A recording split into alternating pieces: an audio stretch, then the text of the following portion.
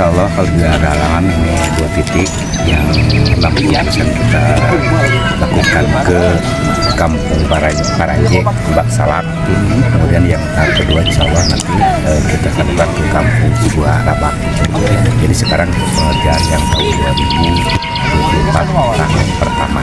Jadi panjangnya berapa kolomnya? Pak? Insya Allah yang ini kurang lebih 1176 Eh, tebalnya 0,12 dan lebarnya 0,2,5 kalau untuk peningkatan ekonomi kalau memang kegiatan-kegiatan kita laksanakan apalagi bantuan keuangan yang dari pemerintah kabupaten eh, pasti kalau memang jalan itu bagus akan eh, perekonomian meningkat. Terutama dari segi mungkin pertanian dan se- sebagainya. Insya Allah eh, saya ucapkan terima kasih terutama kepada pemerintah Kabupaten Bogor, Ibu Bupati eh, dengan eh, diberikannya bantuan eh, tadi-tadi ini dan harapan ke depan mudah-mudahan kalaupun pejabat yang sekarang itu baru dilantik kemarin mudah-mudahan bisa berlanjut lah untuk saya karena ini eh, memang harapan kami sangat besar gitu tuh.